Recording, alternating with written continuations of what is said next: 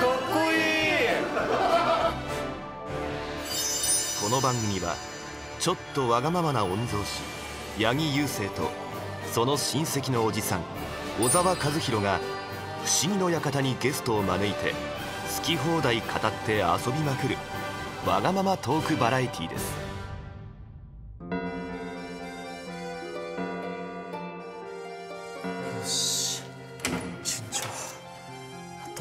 を乗せれば。御曹司！御曹司！あちょちょうるさいうるさい。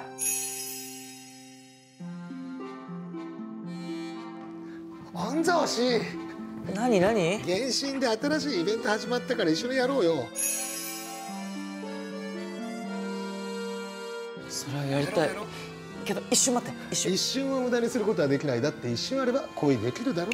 何言ってんだよ。やろうよと待ってって、ねえ原神の新しいイベントやりたい。や分かった分かったけどちょりたいよ。御曹司お客様が来られました。え本当？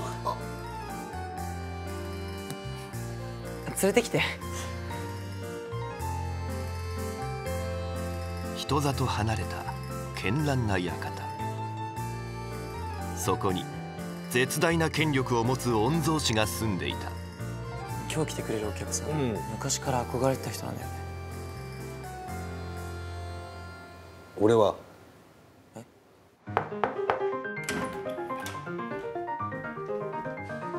お待たせいたしました。招待状を確認させていただきます。お願いしまゲストのもとへ届いたのは不思議の館での夜遊びの招待状。わがままで寂しがり屋の彼のもとへ今宵招かれた客人は？お待たせいたしました。夜な夜な不思議の館にて御曹司八木勇征からの招待状。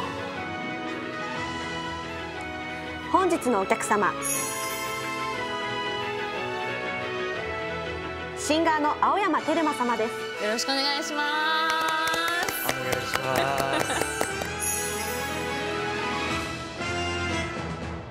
よく来てくださいました。どうぞ。ありがとうございます。あすいません。します。いや僕小学6年生とか中学1年生の頃に、はい。あのテルマさんのあの歌声を初めて聞いてそこから清水翔太さんとかのコラボとかちょっと聞かせてもらってて、はい。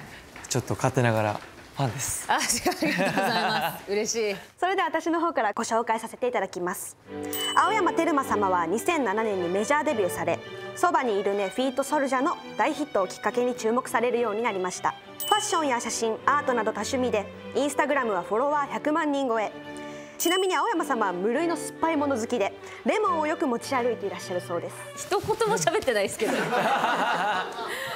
いやー一発目とはいえ、はい。みんなが硬い。硬いね確かにね。御曹司硬い。緊張するよ。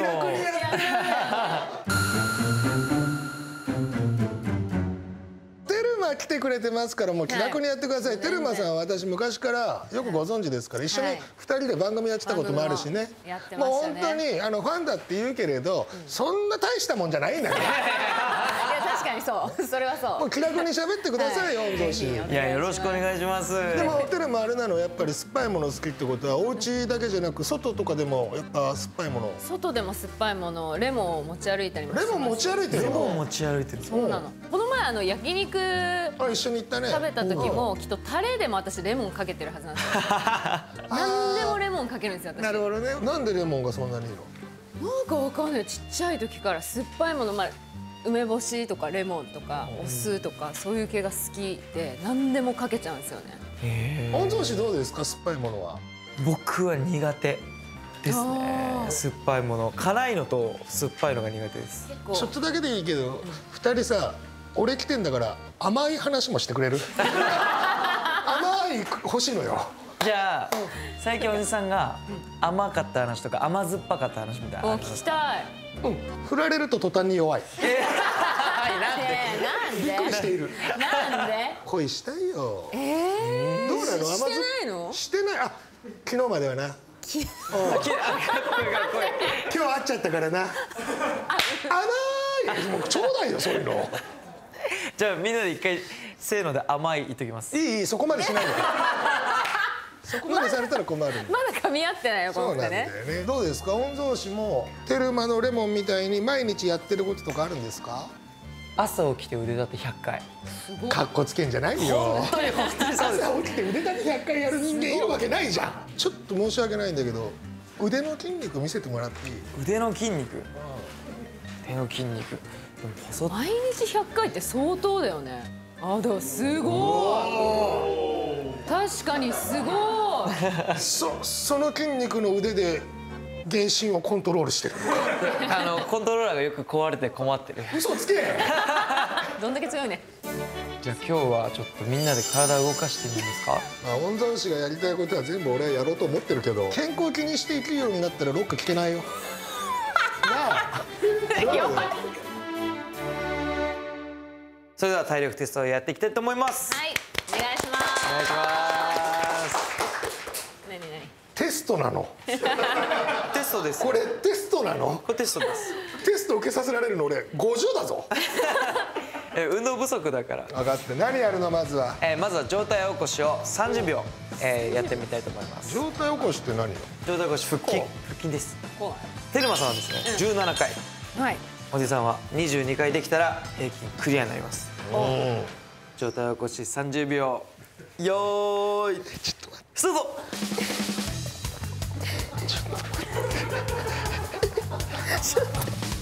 マジこの映像いる？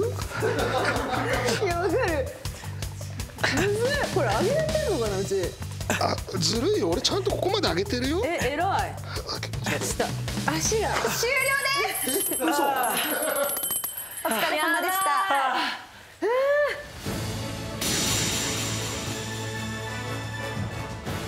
それぞれの回数は青山様19回。超えた超えてる嬉しい。八木様30回。じゃんおすごいじゃん。1秒に1回やってる。すごいそれはすごい。小沢さん8回です。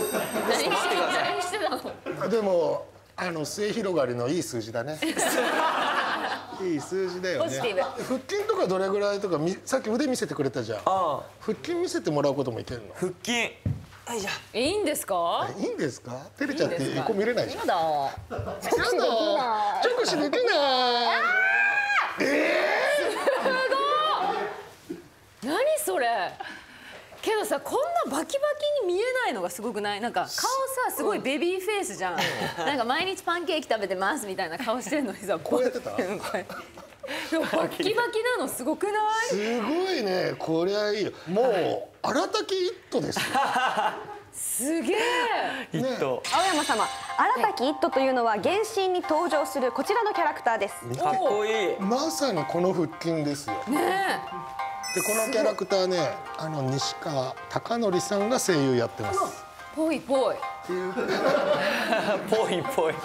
ねでも本当にこの腹筋に負けない腹筋を御曹司してたよ。本当ですか？すごい。やった。もう俺疲れたからあとは若い者同士やってください、若い者同士？うん。よろしく。小沢さんお待ちいたしました。よし。何何何？はい。気配切りです この番組大丈夫そうなんかいろいろバラバラだけど。はい。まあやっぱりね体力もいいけどアーティストたるもの神経を研ぎ澄ませなきゃいけない。はいはいはい。なるほど。秘書ちょっと説明よろしく。はい。気配切りはですね目隠しした状態でなるべく音を立てず気配で相手の位置を把握し叩くチャンバラスポーツでございます。スポーツなんだ。じゃあ二人とも目隠しして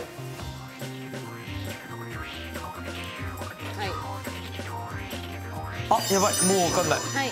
あもう始まってる？まだちょっと待って。気配切り。よーい。スタート。ちょちょちょ。お前お前本当バカだよ。お前は本当にバカだよ。ごめん。まあこういうゲームなんだけど本当にバカだよお前は。何何何何ごめん。もうちょいもうちょい余韻楽しめよ。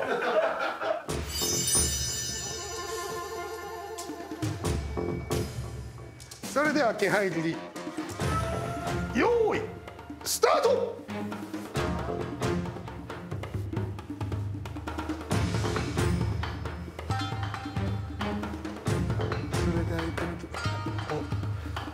チャンスは今あるはず。あ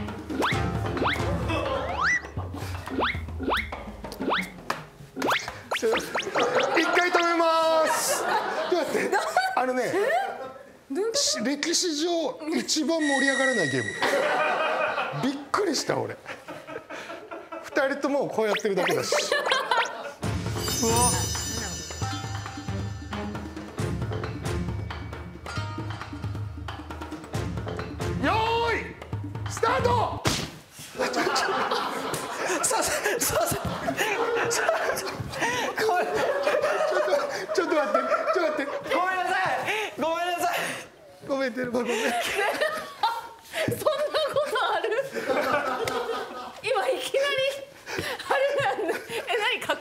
これ。ごめんなさい。え何があった？何があった？気配を感じて。御曹司ここ置い。て。真後ろにテルマを置い。たの、そしたら御曹司がスタートと同時にバンって後ろ手以上をもって体力テスト終了これ終了ですい。やでもい。い。運動になりました最後はどうでしたい。や楽しそうじゃん。い。や確かに最後は楽しかったけど見てみて。見たい。スタートと同時に倒れるから。絶対。それ今の絶対使ってね。マジで見たい。めっちゃいい感じだったと思うよ。結構いいとこ入ったもん。御曹司本日のお仕事のお時間です。おヤギ冒険団の時間ですか？ヤギー冒険団の質問箱。ヤギー冒険団とは原神に登場するベネットのベニー冒険団に憧れて御曹司が作った世の中の人からの悩みや質問に答える組織です。今日の依頼人はガクトさん。え？え？ガガクトさん。えザ・ガクトさんですか？ガクトさんでございます。僕はゲームが大好きなんですが4月からの新生活意外と時間が余っているので他にも何か新しい趣味を始めようかと思っています。趣味探しの参考にしたいので皆様の趣味教えてください。とのことでございます。そうだよね。そりゃこの世界何人かガクトっているもんね。そうですねあの多分一人勝手にじゃないですね俺らが決めつけてたけど まあそういう名前の人もいるもんね。そういうことね。最近やってみたいなと思うのがあって生け花本当に？うん。ってなりたいの、じゃあ今日やってみる？やってみたい。うん。テレマが作った生け花我々も見たいんで。見たい。うん山りさん生け花の先生よろしくお願いします。今呼びました。間もなく到着されます。ありがとうございます。嘘でしょ？あいやいや仕事できる人でしょすごい。優秀。本日生け花を教えてくださいます。草月流の大園西宝先生です。おお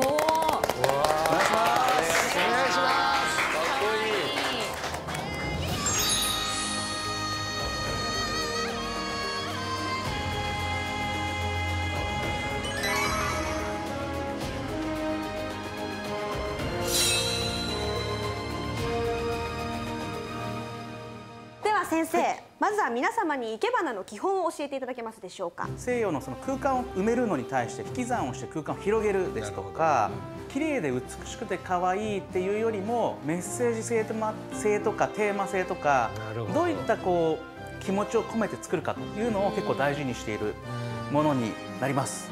メッセージ性を持った三人だからちょうどいいね 本当に大丈夫かな。でちなみにですね今日作ってきました。ああすこれ実は私が込めたメッセージとかテーマは八木雄星御曹司御曹司をテーマにいけました。すげえ。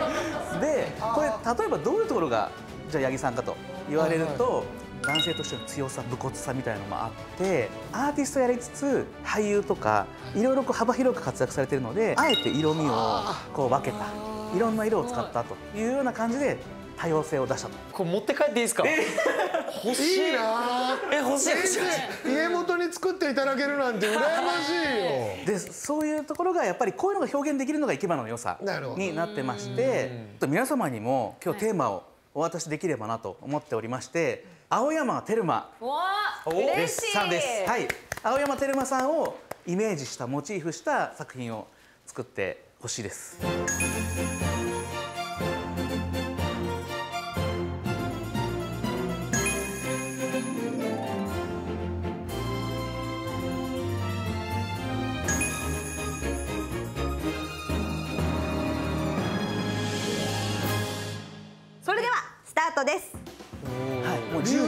かもうもろテルマじゃん。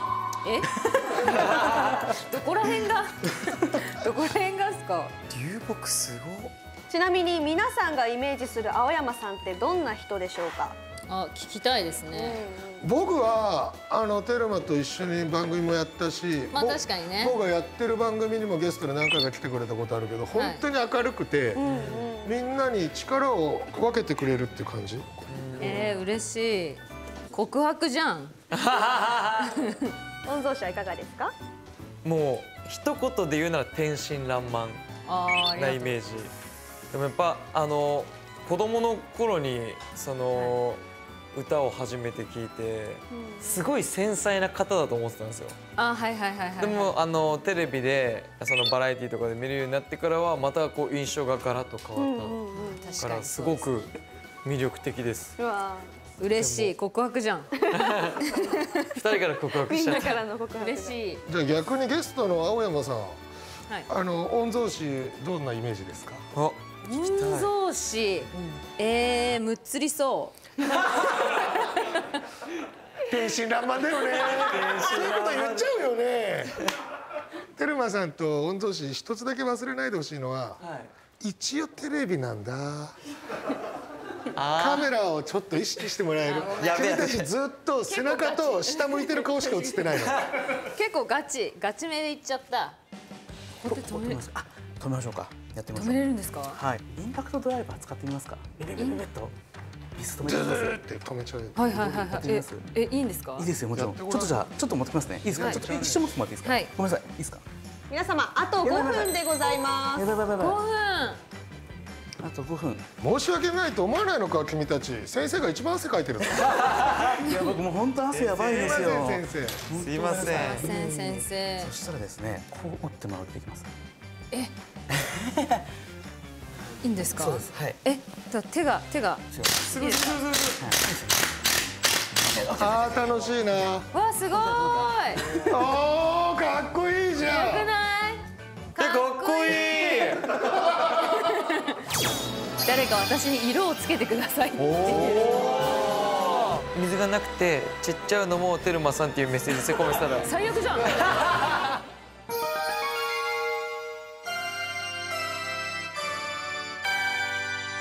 青山テルマというテーマで作っていただきましたが皆様納得のいく作品ができましたでしょうか？はいできました。できました。バッチリでございます。それではまず御曹司から発表していただきましょう、はい。お願いします。僕のはこちらです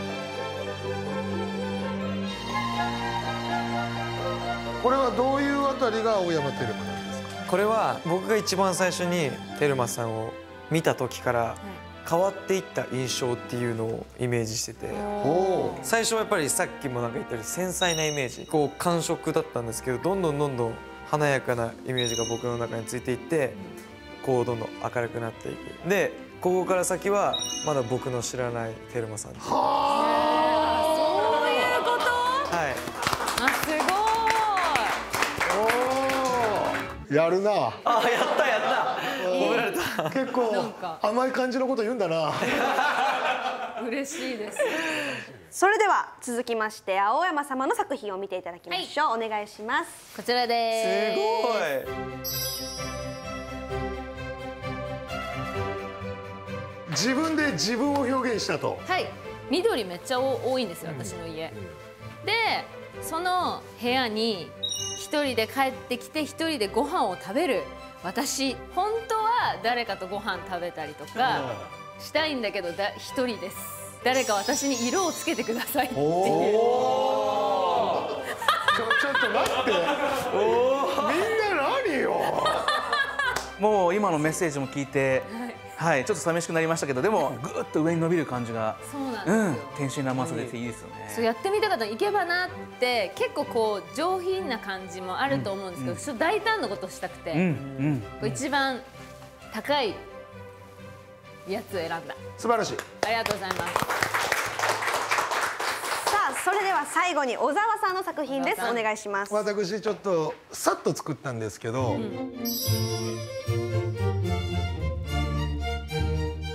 青山テルマというものを表そうとした時に、はい。見つけたのが青いバラでした。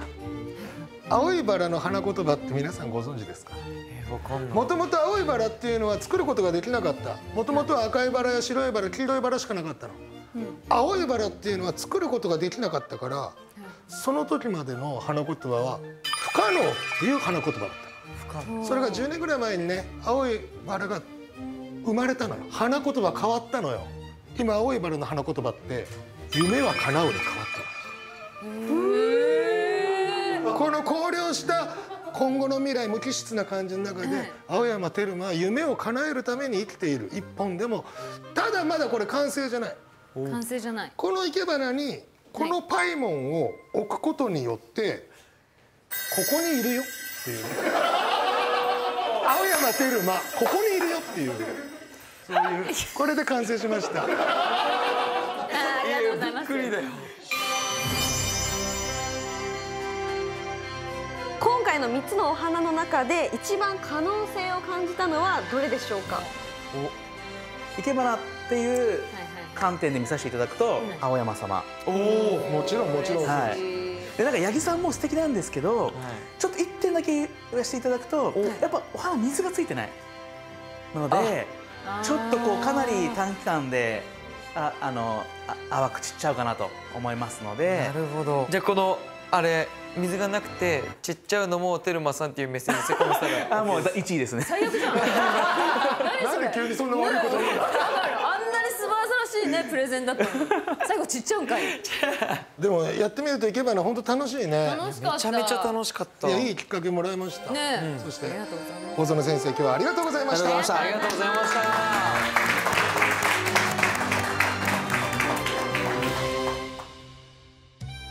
た。やっぱ花っていいね。いいね。最高だよね。ね。お二人お花見とか行ったりした？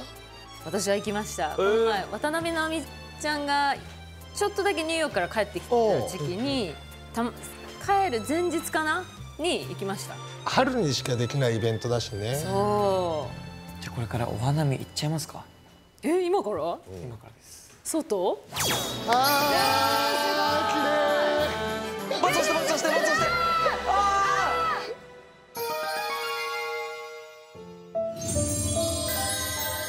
原神散歩実はですねテルマさんこれ見てください。おうはい。え観光ガイドがあるんですけどこういう風に。いやー本当に物撮りの見せ方下手だな。最初このそうやった方がいいかもねコラボを見せないといいんだよ。コラボしてるんだよね。これは君が成長していく物語の番組なんだよここも全部使おう。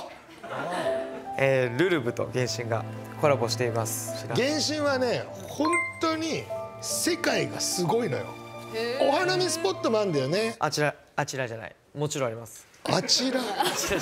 あちら君が成長していく物語です。さあせっかくなのでこのお花見スポットに一緒に行ってみたいと思います。お。じゃあ私が早速原神の最高のスポット連れて行きますので、えー、見八百さん見せちゃって見せちゃって。あー伸びしてる。はい着きました。すごいねはえもう着いたの？えちょっと待って。これここ全然違うよ。あの危険区域だよこ。こそうだよ。ダメだよ。違うじゃん。ワープしてここじゃないよ。ただみんなにこの世界の広さを見せるために。そうだねでも。えここ危険なの？ここ危険区域です。なんで？何が来るの？シンプルにあのレベルが高いのもそうなんですけどあの出てくるモンスターとか。えー、あモンスターも出てくるんですねこのゲーム。じゃあ早速ちょっと旅に出ますか。出ましょ見せたいとこがあるんだ。なんかゆずっぽかったな。見せたい。ものがあるんだみたいになっちゃった。来たぞえ来たぞ。広いね。ここだ。えここ全部いける？こんな広いの。あでもこれワープできるのすごいいいよね。あいいね。いいようねん。ワンポイント解放していくところの気持ちよさあるしね。あるあどんどんどんどんか世界を広くしていける。広くしていくんだ,、うん本当にめちゃめちゃつながってるから。そうそう。マジで死ぬまでに終わるかなっていうぐらいやる。えーだけど本当そんぐらいね。あー綺麗だ。春だすねげえ。段々畑をねまずは見てもらおうかなという。めっちゃ綺麗。世界綺麗でしょわあ本当に景色綺麗なのよ最近のこ本当ゲームってすごいよね。いや本当にすごい。うわー。いいどうするじゃあこの辺でお弁当でも食う？ピクニックしようか。でも本当にいい景色見ながらお弁当食べるのもいいけど。そうね肝心なのは桜見たいよね。確かに桜見たいよ。花見じゃあ行きますか。俺が何引っ張ってくってより御曹司テルマを連れてってやってよ。連れてくよ。そばにいてね。お行くよ。出ましたねこれです。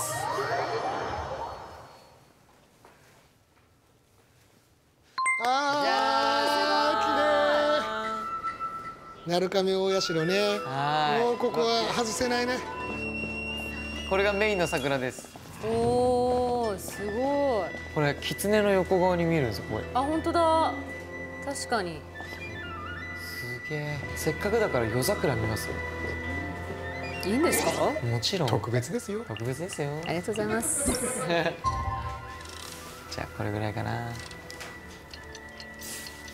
夜に移動できるんだ。夜桜もいいもんいねやめちゃくちゃいいです。ささあ夜桜を見よう。あこちらです。あーいいねこの。お明かりと。ームーディーですね。ムーディーだうねん。ちょっとライトアップされてますね。本当だ御曹司、はい。私は朝日が昇る瞬間もおすすめでございます。時間帯によって景色も変わるのよ。へそうなんです。え。あ、ベストスポットで。はい。いいんですか？もちろんでございます。朝日の時間に。あそこぐらいがいいんじゃない？こんぐらいですね。お、あ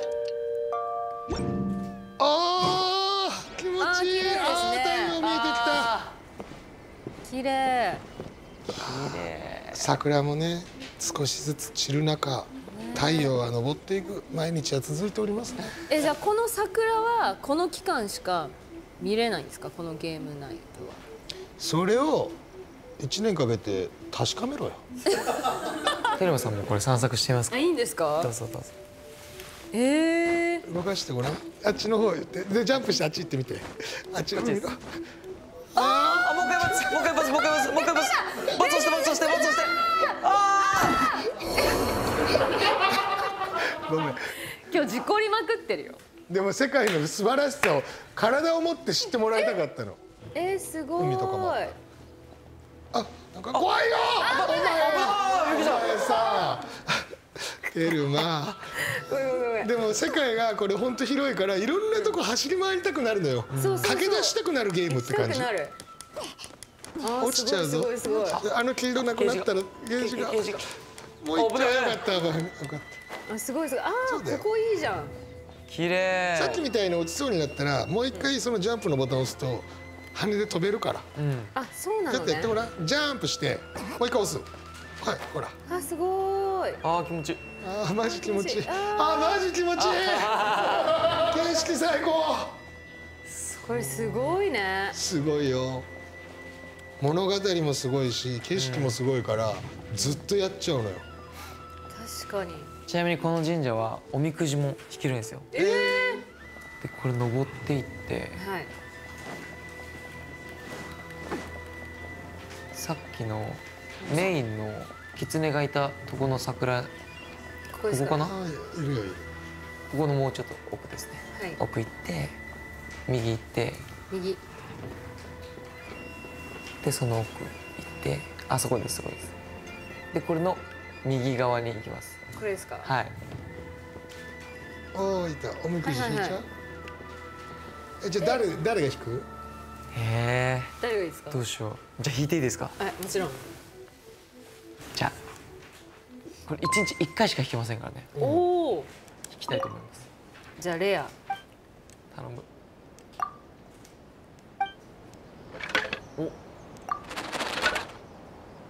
なんだろなんだろだから本当のおみくじ屋さんと一緒で出たやつを渡しておみくじもらう。から、今おみくじの棒もらったじゃん。読めからそれ今のそれを渡すといいよもう渡して。う。よし。今日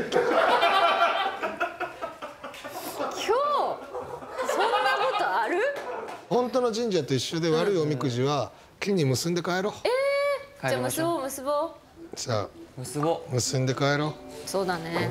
今日は結今日だぼったから。結ぼう。うよし。結びました。今日か。今日ってあるんだね。うでも今日かもしんないね。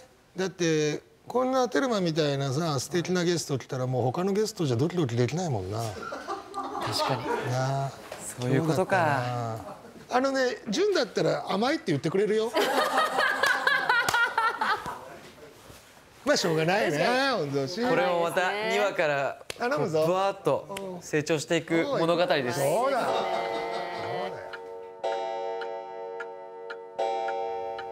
御曹司0時になりましたもう時間か。いや面白かったですよ。えー、本当ですか？第1話なんか第1話っぽい感じだった。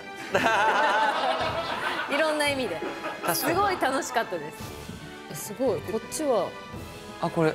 本日はここまでです。今日も御曹司そして小沢さんもわがままでしたね。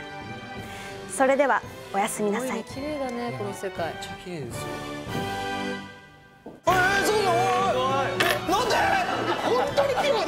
この館やばいな。整うでございます。これ？これ？聖なる夜を聖なる夜にしないようにね